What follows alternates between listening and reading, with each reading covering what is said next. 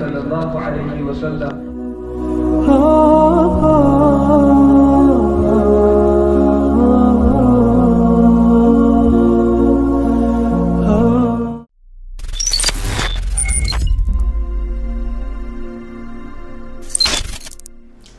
আসসালামু আলাইকুম, আমি আসাদুজ্জামান সবুজ, সকলকে জানাচ্ছি জুম্মা মোবারক।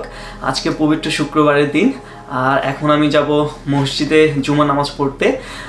অস্ট্রেলিয়াতে মসজিদের সংখ্যা খুবই কম, বিশেষ করে গোল কস্টে খুবই সীমিত মসজিদ রয়েছে। আর আমি একটি মসজিদ পেয়েছি, আমার বাসার খুব কাছেই। এখান থেকে দুই কিলোমিটার দূরে মসজিদটি অরন্ডিলে অবস্থিত।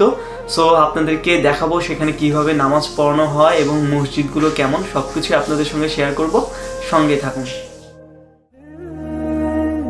অস্ট্রেলিয়ায় মুসলিমদের যাতায়াত ষষ্ঠদশ শতাব্দী থেকে হলেও বিংশ শতাব্দী থেকে মুসলিমদের সংখ্যা বৃদ্ধি শুরু হয়েছে।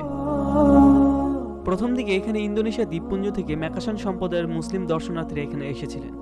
আঠারোশো ষাট সালের দিকে অস্ট্রেলিয়ার মরুভূমিতে কাজের জন্য আফ্রিকা, মধ্যপ্রাচ্য, ভারত উপমহাদেশ, বিশেষত আফগানিস্তানের অনেক উট চালকের আগমন ঘটে।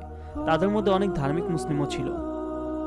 উনিশশো চুয়ান্ন সালের পর থেকে ব্যাপকভাবে মুসলিমদের অভিবাসন শুরু হয়। মূলত আধুনিক অস্ট্রেলিয়া গঠনে তাদের ব্যাপক ভূমিকা আছে। সরকারি পরিসংখ্যার মতে, বর্তমানে অস্ট্রেলিয়া মুসলিমদের সংখ্যা আট লাখের উপরে। খ্রিস্ট ধর্মের পর ইসলামী তৃতীয় বৃহত্তম ধর্ম হিসেবে মনে করা হয়। অস্ট্রেলিয়ার সাধারণ মানুষ ইসলাম ও মুসলমানদের সম্পর্কে উচ্চ ধারণা পোষণ করেন তাদের মতে, মুসলিম সম্পদের অন্তর্ভুক্তিতে অস্ট্রেলিয়া আরও সমৃদ্ধ হয়েছে। মুসলমানরা তাদের কর্মপ্রচেষ্টা, জ্ঞান ও কলাকৌশল দিয়ে অস্ট্রেলিয়ার মূল স্রোতে মিশে গেছে।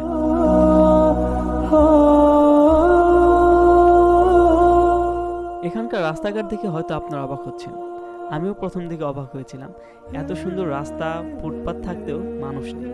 বেশিরভাগ মানুষ এখানে গাড়ি নিয়ে চলাফেরা করে আর বিকেল হলে এখানকার মানুষ পছন্দের কুকুর বিড়াল নিয়ে বের হন সময় কাটানোর জন্য।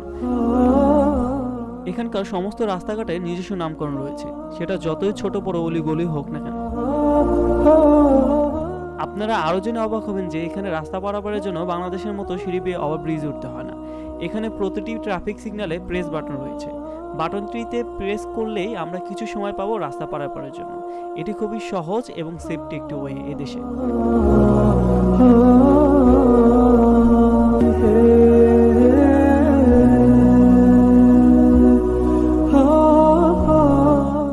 প্রায় দুই কিলোমিটার পথ পাড়ি দিয়ে আমরা অরুণ্ডলে অবস্থিত মসজিদটির খুব কাছাকাছি চলে এসেছি।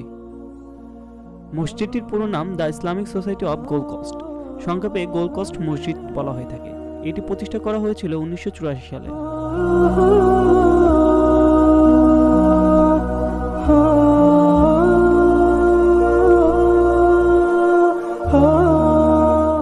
এখানকার মসজিদগুলো বাংলাদেশের মসজিদগুলো থেকে অনেকটাই আলাদা। এখানকার প্রতিটি মসজিদে পুরুষদের পাশাপাশি মহিলাদের নামাজ পড়ার ব্যবস্থা রয়েছে তবে ঢাকার কিছু মসজিদে মহিলাদের নামাজ পড়ার ব্যবস্থা রয়েছে তবে এটি খুবই সীমিত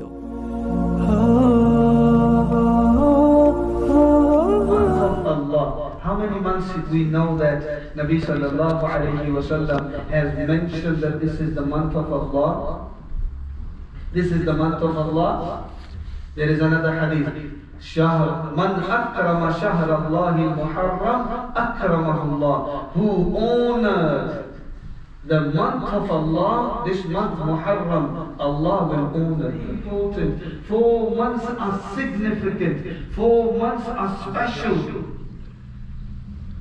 Okay. Now, a little bit, go ahead in the Quran. মসজিদটির পার্কিং এরিয়াতে এত গাড়ি দেখে হয়তো আমার মতো আপনারা অবাক হচ্ছেন। কুলকস সিটিতে মসজিদের সংখ্যা খুবই সীমিত, তাই বিভিন্ন দূর দূরান্ত থেকে মুসল্লিরা আসেন নামাজ পড়ার জন্য।